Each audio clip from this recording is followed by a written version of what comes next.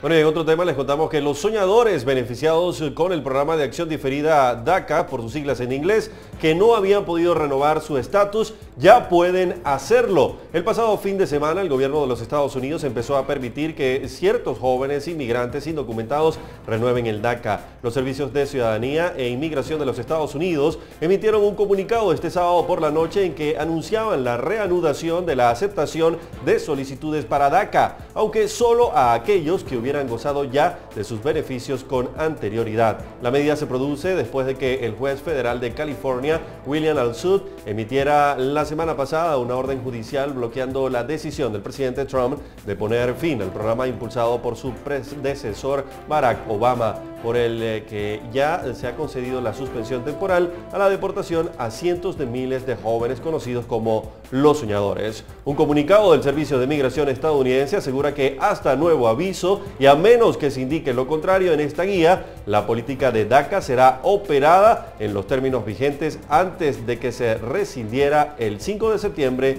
de 2017.